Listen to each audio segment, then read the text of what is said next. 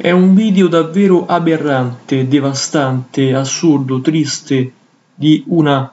grandissima maleducazione, quello che si vede e che è presente nel web, che è diventato virale in poco tempo, dove per l'appunto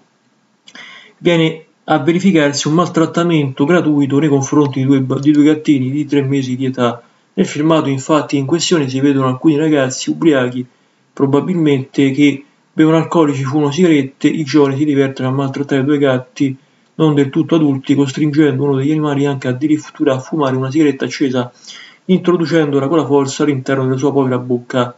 I primi a denunciare accaduto sono stati alcuni esponenti del Partito Animalista della Spagna, che si chiama PACMA. Dopo la querela, la Guardia Civile ha deciso di aprire un'indagine e da risalita ai presunti responsabili sarebbero alcuni ragazzi residenti a El Eido, Almeria in Andalusia, due di loro sono stati anche già denunciati per maltrattamento di animali, i due gatti invece sono stati recuperati e affidati ad una struttura veterinaria, le condizioni di salute sono buone, non è escluso che nelle prossime ore possano però arrivare anche delle denunce nei confronti di altri giovani che si sono messi nella condizione di fare del male agli animali in questione.